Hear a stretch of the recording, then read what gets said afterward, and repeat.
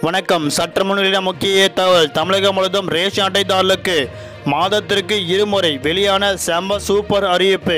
Ration கடைகளுக்கு நாளை முதல் என்ன ஒரு மகிழ்ச்சிகரமான அறிவிப்பு தான் இப்போ நம்ம ப்ரீஃபாக பார்க்க போகிறோம் மறக்காமல் ஸ்கிப் பண்ணாமல் பாருங்க உங்களுக்கு இதே போன்ற ரேஷன் அட்டை பற்றி முக்கியமான விவரங்கள் ஒன்றுக்கொன்று தேவைடினா நம்மளோட சேனலில் கீழே இருக்க ரெக்க பட்டனை கிளிக் பண்ணி சப் பண்ணிக்கோ.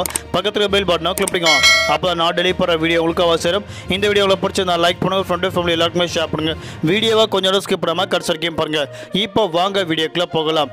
ரேஷன் அட்டைதாரர்களே மாதத்தில் இரண்டு முறை வெளியான செம சூப்பர் அறிவிப்பு. ரேஷன் அட்டைதாரர்களுக்கு கரீப் கல்யாண் யோஜனா திட்டத்தின் கீழ் ஒவ்வொரு நபருக்கு ஒரு மாதத்தில் இருமுறை உணவு தானியங்கள் இலவசமாக கிடைக்கும் என அறிவிக்கப்பட்டது உலகம் முழுவதும் பரவி வரும் கொர்னோ உச்சக்கட்டத்தில் இருக்கிறது. இதனால் பல மக்கள் பொருளாதார வீழ்ச்சி சந்தித்துள்ளனர். இந்நிலையில் பிரதான் மந்திரி கரீப் கல்யாண் யோஜனா திட்டத்தின் மூலம் ஏழை எளிய மக்களுக்கு பயன்பெறும் வகையில் ரேஷன் கடையில் பத்து கிலோ ரேஷன் பொருட்கள் இலவசமாக கொடுக்கப்பட்டு வருகின்றது. மேலும் இத்திட்டத்தின் கீழ் இந்தியாவின் கீழ் உள்ள எண்பது கோடி ரேஷன் அட்டைதாரர்களுக்கு இலவச அரிசி அல்லது கோதுமை வழங்கப்படும் எனவும் வழக்கமாக கிடைக்கும் மானிய விலையுடன் தற்போது கிடைக்கும் என உணவு தானியங்களுடன் கூடிய ஒவ்வொரு நபர்களுக்கு கூடுதலாக ஐந்து கிலோ இலவசமாக வழங்கப்பட்டு வருகின்றது.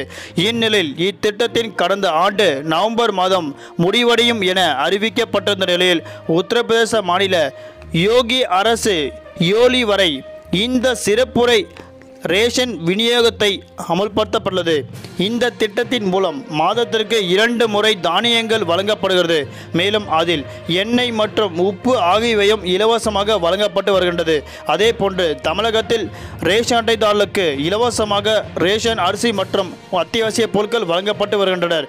அதே போன்று ரேஷன் அரிசி தரமாக இருக்க வேண்டும் என ஆய்வுகள் மேற்கொள்ளப்பட்டு வருகின்றனர். இதன் அடிப்படையில் ரேஷன் கடையில் ரேஷன் பொருட்கள் தரமற்றதாக இருந்தால் கட்டாயம் நடவடிக்கை எடுக்க வேண்டும் எனவும் தரமற்ற பொருட்கள் விற்கப்பட்டால் தரமற்ற பொருட்களை கொள்முதல் செய்யும் இடங்களுக்கே அனுப்பி வைக்கப்படும் என தற்போது ஆய்வகத்தில் கூறப்பட்டு வருகின்றனர். இந்நிலையில் ரேஷன் கடையில் புகார் அளிக்கப்படும் என தற்போது கூறப்பட்டுள்ளனர். ரேஷன் கடையில் தகாத விதத்தில் பேசினாலோ ரேஷன் கடையில் தற்போது ஊழியர்கள் மக்களுக்கு ஏமாற்றினாலோ புகார் அளிக்கப்படலாம் என ரேஷன் கடையில் பொருட்கள் வாங்கும் பொதுமக்களுக்கு முக்கிய அறிவிப்பு விடுக்கப்பட்டுள்ளது. நன்றி வணக்கம்.